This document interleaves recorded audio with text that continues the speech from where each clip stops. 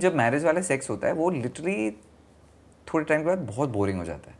मैं बहुत सारे कपल्स को ऐसे जानता हूँ सेक्स के बाद वो अलग अलग कमरों में सोते हैं वो सेक्सुअल हीट नहीं होती। Is that a syndrome with everyone और is that something which you felt was होता है। After a while and I can say this because uh, I was married for six years and we were good, good chemistry, everything was fine.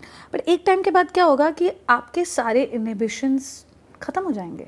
होंगे ही ना वो तो आप एक normal even if you start dating someone but every day morning evening sickness health you are not going to be looking nice you are not going to dress up मतलब you are going to see the person for the person आप वो facade कितने दिन तक uh, होता था पता है नाइनटीन सिक्सटीज में like women will just make sure that वो पहले जगेंगे पहले तैयार होके बैठेंगे क्योंकि वो जितना लंबा फसाड करोगे। कभी किया था? मैंने? no.